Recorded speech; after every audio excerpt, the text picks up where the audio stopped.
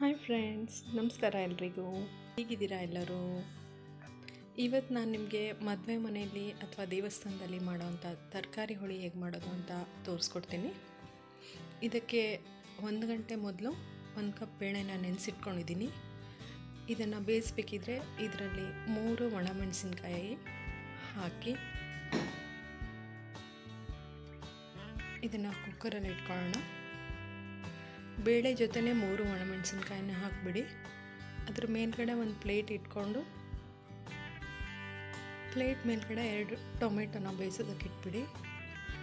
Cooker ಮುಚ್ಚಳ ಮುಚ್ಚಿ ಇದನ್ನು ಒಂದು ನಾ, ನಾಲ್ಕರಿಂದ ಐದು ವಿಷಲ್ ಮಾಡಿ.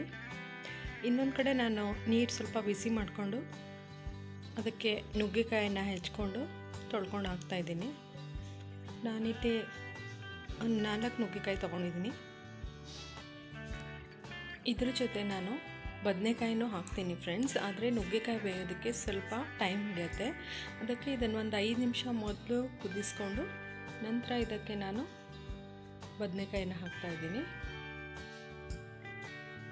ನಿಮ್ಗೆ ಇಷ್ಟ ಇಲ್ಲ ಅಂದರೆ ಬರೀ ನುಗ್ಗೆಕಾಯಿ ಹಾಕಿನೂ ಕೂಡ ಮಾಡ್ಕೊಳ್ಬೋದು ನೀವು. ನೋಡಿ ಕುಕ್ಕರು ಈಗ ತಣ್ಣಗಾಗಿದೆ. ನಾನು ನಾಲ್ಕು ವಿಷಲ್ ಮಾಡಿದ್ದೆ. ಈಗ ತರಕಾರಿ ಮತ್ತು ಇದು ಎಲ್ಲ ಒಟ್ಟೊಟ್ಟಿಗೆ ಬೇ, ಬೆಂದ್ಕೊಂಡಿದೆ. ಈ ಒಣಮೆಣಸನ್ನು ಸಪ್ರೇಟಾಗಿ ತೆಕ್ಕೊಳ್ಳೋಣ. ಒಣಮೆಣಸು ಮತ್ತು ಟೊಮೆಟೊ ಇದನ್ನು ನಾವು ಮಿಕ್ಸಿನಲ್ಲಿ ಪೇಸ್ಟ್ ಮಾಡ್ಕೊಳ್ಬೇಕು. ನೋಡಿ. ನೋಡಿ ಫ್ರೆಂಡ್ಸ್ ನಾನು ಮಿಕ್ಸಿನಲ್ಲಿ ಪೇಸ್ಟ್ ಮಾಡ್ಕೊಂಡಿದ್ದೀನಿ. ಇದನ್ನು ನಾನು ಪಾತ್ರೆಗೆ ಹಾಕ್ಕೊಳ್ತಾ ಇದ್ದೀನಿ. ಇದನ್ನೆಲ್ಲ ಹಾಕಿ ಇದಕ್ಕೆ ಬೇಕಾಗಿರೋ ಅಷ್ಟು ನೀರನ್ನು ಕೂಡ ಹಾಕ್ಬಿಡಿ. ಕನ್ಸಿಸ್ಟೆನ್ಸಿ ನಿಮಗೆ ನೋಡಿಕೊಂಡು ಹೇಗೆ ಬೇಕೋ ಹಾಗೆ ದಪ್ಪ ಬೇಕಿದ್ರೆ ನೀರು ಕಡಿಮೆ ಹಾಕಿ. ನೋಡಿ, ಬೇಳೆನೂ ನಾನು ಇದ್ರ ಜೊತೆ ಮಿಕ್ಸ್ ಮಾಡ್ತಾ ಇದ್ದೀನಿ.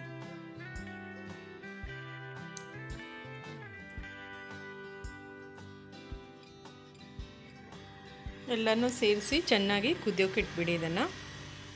ಇದಕ್ಕೆ ಹುಣಸೆ ಹಣ್ಣಿನ ನೀರು ಒಂದು ಮೂರು ಟೇಬಲ್ ಸ್ಪೂನಷ್ಟು ಹಾಕಿದ್ದೀನಿ ನಾನು.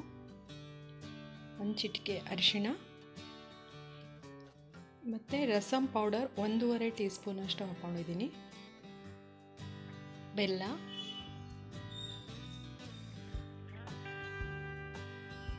ಚೆನ್ನಾಗಿ ಇದನ್ನು ಮಿಕ್ಸ್ ಮಾಡಿ. ಎಷ್ಟು ಚೆನ್ನಾಗಿ ಕಾಣ್ತಾ ಇದೆ ಅಂದರೆ ಕಲರು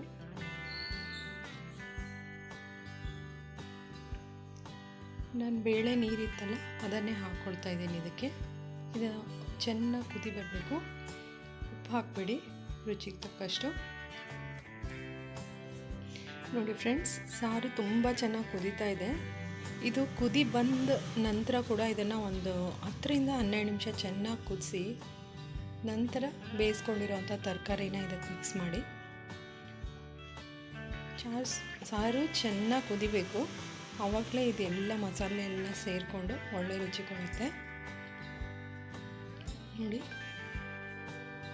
ತರಕಾರಿ ಮೊದಲೇ ಬೆಂದಿರೋದ್ರಿಂದ ನೀವು ಚೆನ್ನಾಗಿ ಸಾರನ್ನು ಕುದಿಸ್ಕೊಂಡು ನಂತರ ತರಕಾರಿ ಹಾಕಿ, ಆಮೇಲೆ ಸ್ಟವ್ ಆಫ್ ಮಾಡೋಕ್ಕಿಂತ ಜಸ್ಟ್ ಸ್ವಲ್ಪ ಹೊತ್ತು ಮುಂಚೆ ಕೊತ್ತಂಬರಿ ಸೊಪ್ಪು ಹಾಕ್ಬಿಡಿ. ಹಾಕಿದ ನಂತರ ಸ್ಟವ್ ಆಫ್ ಮಾಡ್ಕೊಳ್ಳಿ. ಇದಕ್ಕೆ ಒಂದು ಒಗ್ಗರಣೆ ಕೊಡೋಣ ಈಗ. ನಾನಿಲ್ಲಿ ಒಂದೆರಡು ಟೀ ಸ್ಪೂನಷ್ಟು ತುಪ್ಪ ತಗೊಂಡಿದ್ದೀನಿ. ತುಪ್ಪ ಸ್ವಲ್ಪ ಬಿಸಿ ಆದ ನಂತರ ಅದಕ್ಕೆ ಸಾಸಿವೆ. ಆಮೇಲೆ ಹಿಂಗೆ ಹಾಕ್ಕೊಳ್ಳೋಣ ನಾನಿಲ್ಲಿ ಗಟ್ಟಿ ಹಿಂಗನ್ನು ಉಪಯೋಗಿಸ್ತಾ ಇದ್ದೀನಿ. ನೀವು ಪೌಡರ್ ಹಿಂಗೆ ಕೂಡ ಹಾಕ್ಕೊಳ್ಬೋದು ತೊಂದರೆ ಇಲ್ಲ. ಆದರೆ ಗಟ್ಟಿ ಹಿಂಗಾದರೆ ಅದನ್ನು ಒಂದು ಸ್ವಲ್ಪ ಎಣ್ಣೆಲಿ ಹುಡಿದ ನಂತರ ಒಂಚೂರು ನೀವು ಪುಡಿ ಮಾಡಬೇಕಾಗತ್ತೆ. ಕ್ರಷ್ ಮಾಡಿದ್ರೆ ಸಾಕು ಜಸ್ಟ್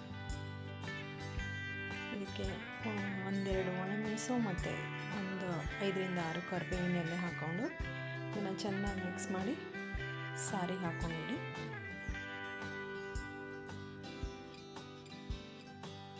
ನನ್ನ ವಿಡಿಯೋ ನಿಮ್ಗೆ ಇಷ್ಟ ಆಗಿದರೆ ಪ್ಲೀಸ್ ಲೈಕ್ ಮಾಡಿ ಶೇರ್ ಮಾಡಿ ಮತ್ತು ಚಾನಲ್ನ ಸಬ್ಸ್ಕ್ರೈಬ್ ಮಾಡಿ ಅಂತ ಹೇಳ್ತಾ ಇನ್ನೊಂದು ಇಂಟ್ರೆಸ್ಟಿಂಗ್ ರೆಸಿಪಿಯೊಂದಿಗೆ ಮತ್ತೆ ಸಿಗ್ತೀನಿ.